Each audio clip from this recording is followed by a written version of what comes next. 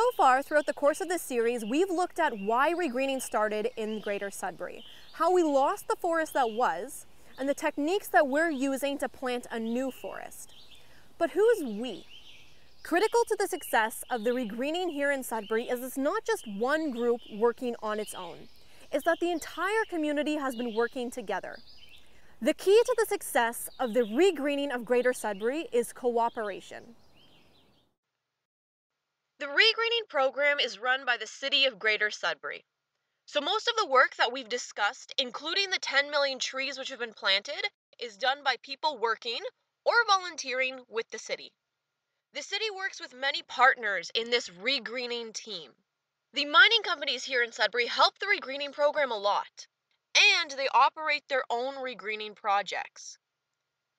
They grow hundreds of thousands of seedlings every year. In fact, if we were to count all the trees that they have planted, along with all the trees that the city has planted, well, then the citizens of Greater Sudbury have certainly planted way more than 10 million trees since 1978.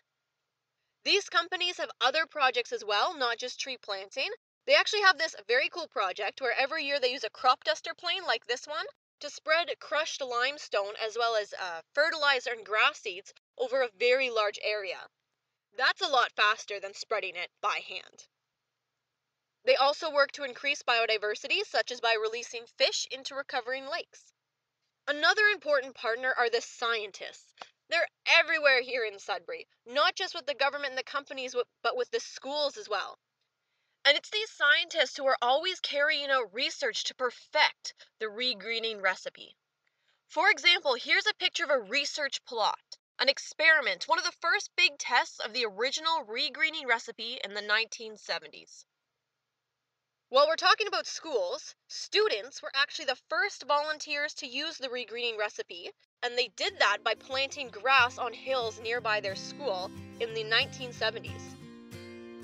And those students have not been the only volunteers to get involved.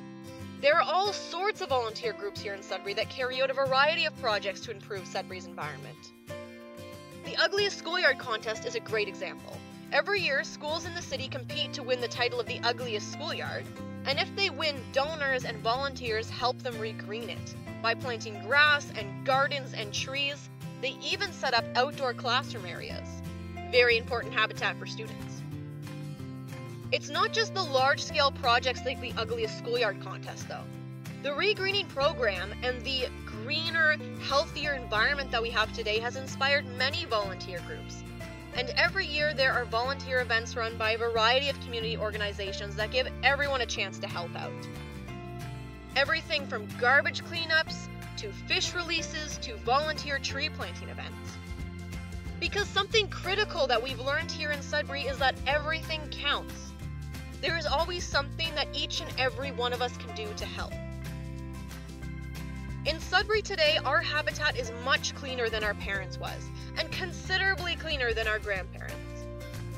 I mean, today we can fish in lakes that were empty 40 years ago. We can hike nature trails that didn't even exist through forests that were back then they were just bare rocks. We get to experience and to enjoy nature in a way that they couldn't. That is only because of the teamwork through generations, all the thousands of people who've been involved in this. Regreening is a huge part of Sudbury's culture.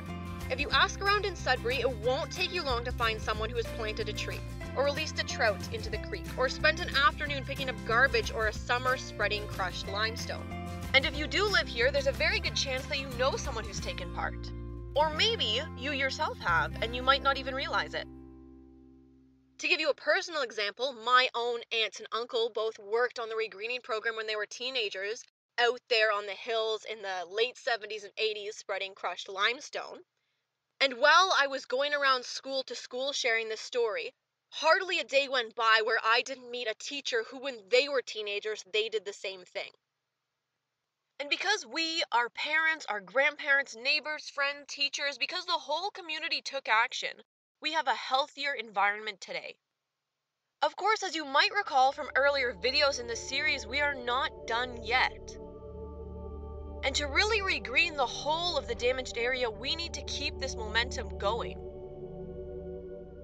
So consider researching and reaching out to volunteer groups, and even if you don't live here in Sudbury, take part in similar environmental stewardship type programs in your own cities. Because the regreening, what we've done here, is not just of benefit to the citizens of Greater Sudbury. Today, we are very proud to share what we have learned here with the rest of the world. We have demonstrated to the rest of the world that regreening on this scale is absolutely possible.